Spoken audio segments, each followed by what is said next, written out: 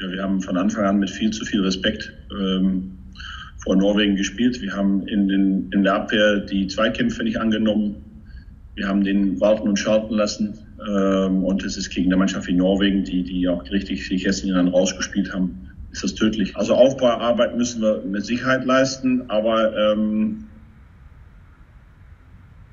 das Spiel war so eindeutig, da kann man eigentlich nichts anderes machen als abhaken. Denn es gibt so viele Sachen, die wir da nicht richtig gemacht haben. Es ist sinnlos, das alles einzeln aufzuarbeiten.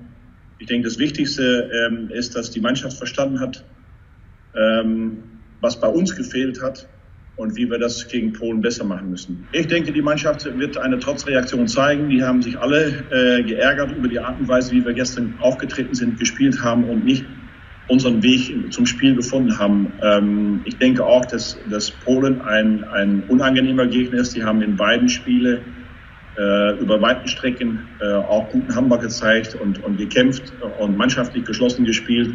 Das wird also kein leichtes Spiel. Es wird aber ein Spiel, wo ich sage, da, da haben wir auch von der Spielfähigkeit her die Möglichkeiten, ähm, das Spiel für uns zu entscheiden. Wenn wir Hauptfinale erreichen, ist das ein Riesenergebnis. Ähm, mit dieser Vorbereitung in diesem Moment mit dieser Mannschaft das zu erreichen, wäre absolut toll. Ähm, und das Schöne ist, das ist alles noch drin.